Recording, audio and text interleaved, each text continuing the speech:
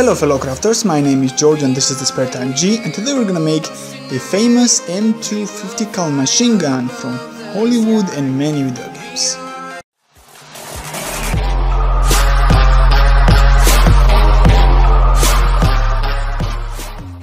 If you enjoy my projects, consider subscribing and clicking the notification bell to get notified once I upload a new video. M2 is my favorite machine gun, uh, probably if you have seen any kind of action movie in Hollywood or have uh, uh, experienced any kind of video game where you have the massive machine gun on top of the um, vehicle, that is going to be probably uh, this M2 50 cal uh, which really has a really thick barrel uh, so to make it I'm using a relatively thicker rod of clay uh, to engulf the uh, the tube the plastic tube with it uh, the origins of this plastic tube as you know if you have watched my Gatling gun video is uh, the ear cleaner um, tubes um, I have taken off the cotton from both sides of them and then used them toothpick uh, to kind of connect them together.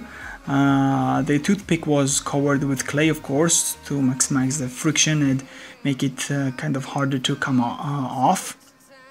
And right now I'm engulfing the, everything together with the uh, clay in order to get this uh, thick barrel look. If you roll it over several times, you will get the desired rounded, nice, mm, smooth surface that the barrels have.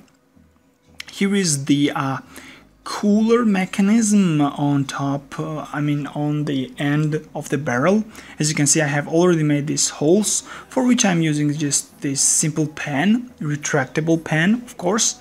I'm just pushing it against uh, and of course you will have to make this kind of 4 3 4 3 holes not they parallel to each other but kind of um, in between um, pattern like this uh, here I'm going with three of course and then I will go for four again. Do it several times. You, you do not need to make everything symmetrical but try to at least have the decent uh, uh, proportions on the top as the bottom side won't be visible as much as the top one. So you can conceal any kind of irregularities on the uh, bottom side and yeah, making this holes is quite easy and I uh, assume this is the uh, cooler mechanism, uh, so to say, which makes the barrel cool off a little bit. This is my just my opinion, not very sure about that. Uh, here I'm going to make the hole uh, using the tooth uh, toothpick again, which will resemble the barrel, and using a narrow piece of clay I'm going to make barrel which uh, the part of the barrel uh, which uh, needs to be engulfed. We're going to co like cover the thick part with the with the patterned clay part.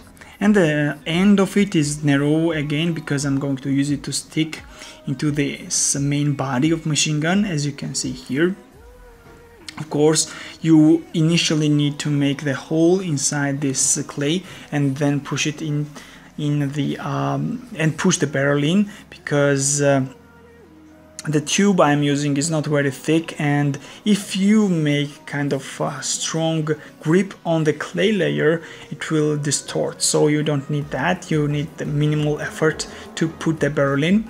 And here I'm just covering it up with this uh, patterned clay part and I have this nice uh, really uh, I'm really happy with this look as it is looking right now. And uh, right now I will have to make some kind of details and triggers and such. Here are some spare details I have made uh, for the machine gun.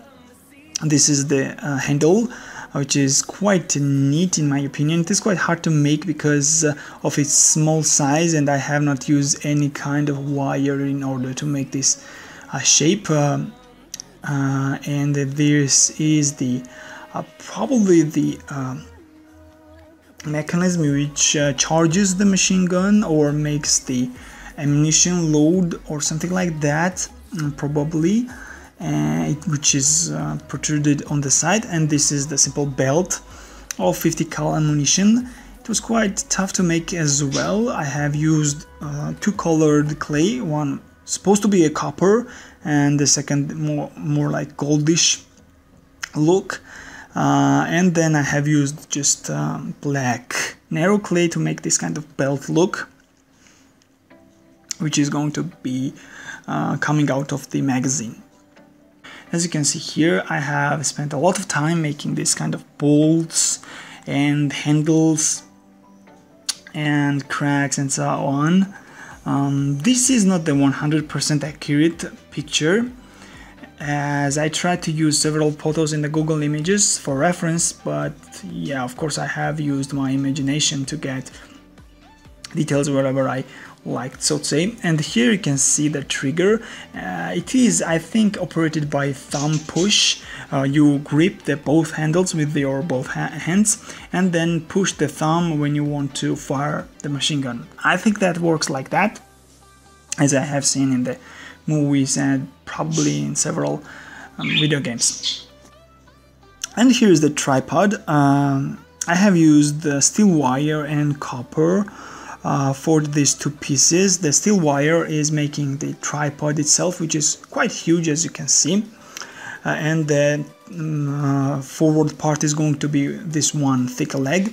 And the copper part will make the um, gun itself support on the top and at the same time the magazine which is going to be protruding on the side and here is the uh, clay coated version as you can see and the magazine itself uh, which is protruding on the side um, quite neatly the huge legs are for ground stance uh, as you can see there are some hooks as well which um, probably is used to fasten it uh, firmer on the ground if you need so.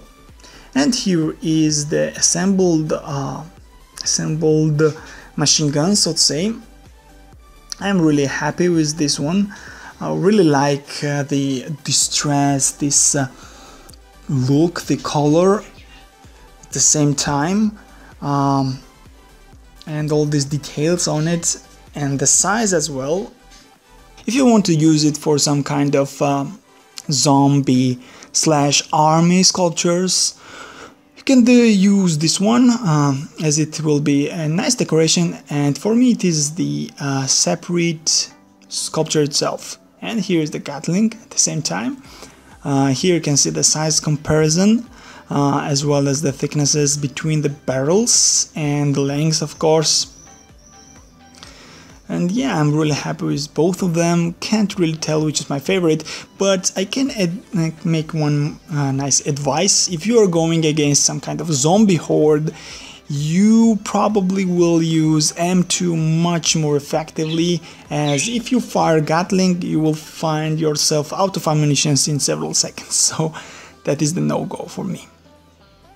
And that was it. Thank you everybody for watching. I hope you enjoyed this project as much as I enjoyed making it.